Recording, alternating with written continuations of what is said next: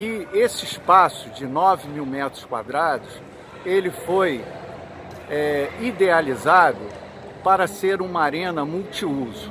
Ou seja, eu coloquei aqui quatro quadras que podem ser utilizadas para o basquetebol, para o futsal, para o voleibol e também podem ser utilizadas para o judô, basta colocar o tatame sobre a quadra, e também para o jiu-jitsu ou o taekwondo.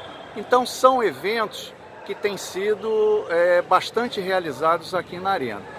Quanto ao nosso calendário, eu posso afiançar para você que desde 2017, quando eu iniciei a gerência aqui dessa instalação, nós temos utilizado basicamente todos os finais de semana é, com eventos que são promovidos por essas confederações, federações e alguns clubes.